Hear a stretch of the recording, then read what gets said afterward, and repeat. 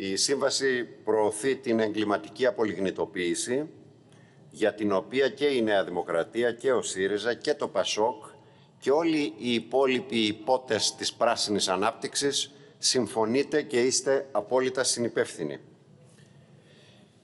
Μια πράσινη ανάπτυξη η οποία ως τμήμα της γενικότερης πολιτικής της Ευρωπαϊκής Ένωσης ε, για την πράσινη μετάβαση συνιστά ένα πραγματικό έγκλημα όπως είπαμε το οποίο οδηγεί σε οικονομικό μαρασμό ολόκληρων περιοχών σε εκτείναξη της δαπάνης για ηλεκτρισμό που πληρώνουν τα εργατικά λαϊκά στρώματα, σε εξάρτηση της χώρας μας σε δύσκολες διεθνείς συνθήκες και βεβαίως σε μια πιθανότατη γενικευμένη αστάθεια ενεργειακή, μια χώρα όπως η δική μας, η οποία έχει όλες τις ενεργειακές πηγές για αυτοτέλεια, έχει τη δυνατότητα εξάλληψης της ενεργειακής φτώχειας, έχει τη δυνατότητα ανάπτυξης όλων των κλάδων της οικονομίας για την κάλυψη όλων των σύγχρονων λαϊκών αναγκών. Και εσείς όλα αυτά τα παραδίνετε στην αγκαλιά των παράσιτων της οικονομίας και της κοινωνίας για να γεμίσουν παραπάνω κέρδη.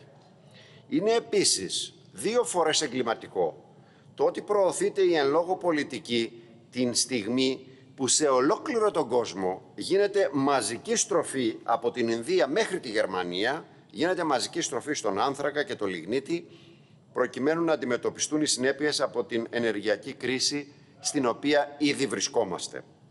Η επίκληση για την προστασία του περιβάλλοντος είναι τουλάχιστον υποκριτική.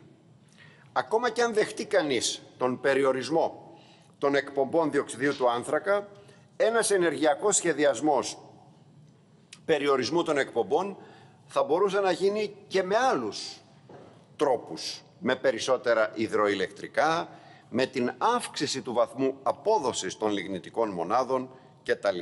Ανταυτού προωθούνται, προωθείται μόνον η ΑΠΕ, οι ανανεώσιμες πηγές ενέργειας, ενέργειας, με την καταστροφική επίπτωση που αυτές έχουν σε βουνά και δάση, ακόμα και σε περιοχές Natura, προωθείται η χρήση του φυσικού αερίου, παρά το γεγονός ότι ειδικά το τελευταίο, το φυσικό αέριο και κυρίως το LNG, αποδεσμεύει στην ατμόσφαιρα τεράστιες ποσότητες μεθανίου, ενός αερίου 40 φορές πιο επικίνδυνου για το φαινόμενο του θερμοκηπίου. Και μετά μας μιλάτε για την φιλοπεριβαλλοντική σας πολιτική. Όμως, καθώς εδώ το τα συμφέροντα της μεταφοράς LNG είναι μεγάλα, υπάρχει ιδιαίτερο επιλεκτικό ενδιαφέρον. Η προστασία των κατοίκων της περιοχής από προβλήματα εξαιτίας της λειτουργίας των λιγνητικών σταθμών είναι επίσης, δεν στηρίζεται πουθενά. Αφού υπάρχουν πάρα πολλές τεχνολογίες, σύγχρονες τεχνολογίες, όπως είναι η αποθείωση, η μείωση της σκόνης, οι οποίες μπορούν να εγγυηθούν σήμερα την ασφαλή καύση του λιγνίτη.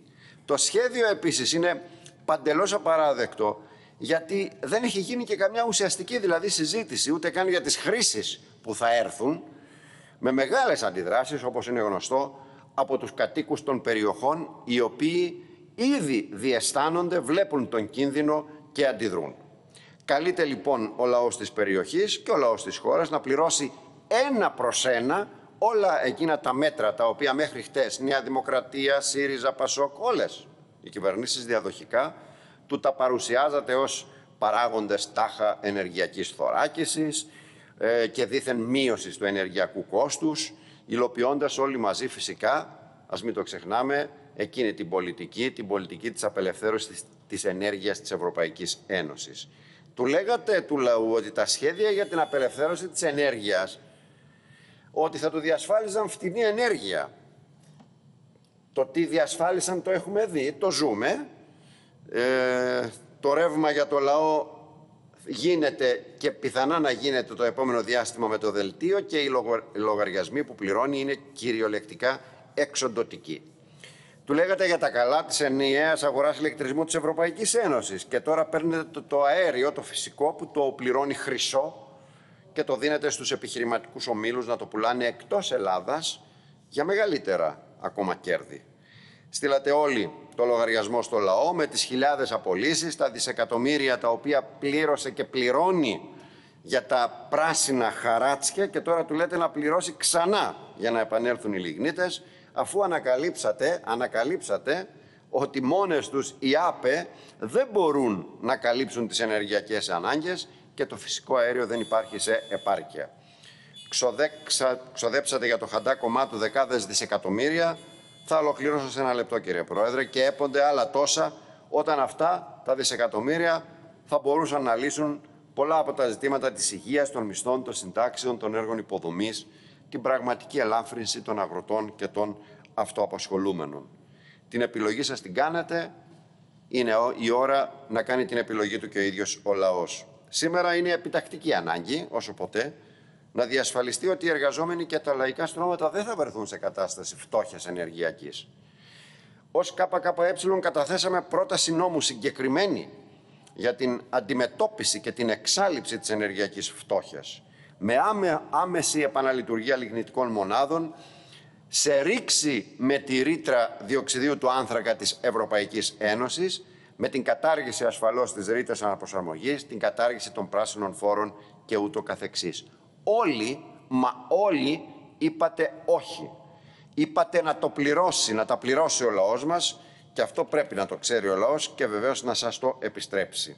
Εκεί ακριβώς, κατά την άποψή μας, πρέπει να στοχεύει και η λαϊκή πάλι, σε συμπόρευση με το ΚΚΕ, γιατί μόνον αυτό δίνει, οι θέσεις του μάλλον και οι προτάσεις του δίνουν απάντηση στα σημερινά αδιέξοδα. Υπάρχει και έχει ολοκληρωμένο σχέδιο αξιοποίησης όλων των εχώριων πηγών ενέργειας, για τις ανάγκες του λαού όμως, κόντρα στις δεσμεύσεις της Ευρωπαϊκής Ένωσης, δεν γίνεται αλλιώς, κόντρα στην πράσινη ανάπτυξη, κόντρα στο εμπόριο ρήπων. Σχέδιο που βγάζει τον ίδιο το λαό και τις ανάγκες του στο προσκήνιο, με την οικονομία και την εξουσία στα δικά του χέρια. Αυτό είναι το καλό σενάριο.